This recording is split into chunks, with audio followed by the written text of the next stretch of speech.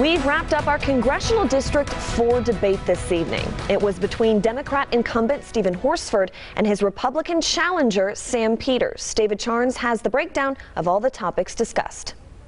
Welcome to our congressional district four debate. Democratic Congressman Stephen Horsford and the man looking to replace him, Republican Sam Peters, couldn't have proven they are more different. Uh, my opponent has uh, continuously uh, voted to um, spend more money and more money, and it's not going to get better. That's why my opponent is extreme. He's out of touch. He does not reflect the priorities of the people of Nevada's 4th District. Peters painting Horsford as a member of the Democratic establishment. We've seen it again month after month after month, 40 year highs on inflation. It's not getting better. Horsford saying Peters is a radical Republican, out of touch with reality. This is greedflation based on big oil.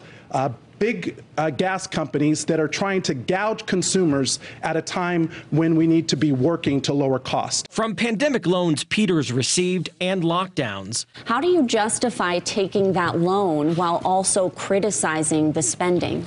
So the government shut down small business across the country, shut down the entire economy for two years. Horsford responded the money that helped pay Peters' employees came through bipartisan legislation. My opponent doesn't want to talk about the pandemic okay. that also was killing lives and affecting livelihoods. On the issue of abortion, Peters says it's settled law in Nevada.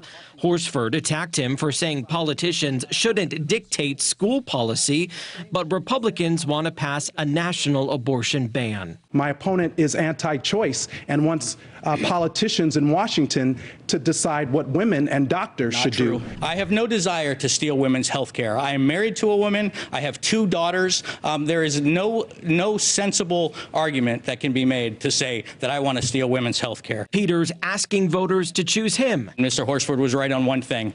The the differences could not be more stark. As Congressman Horsford seeks another term. The choice could not be more clear in uh, the decision on who voters will decide to elect to represent you um, in Nevada's 4th. I'm asking for your support.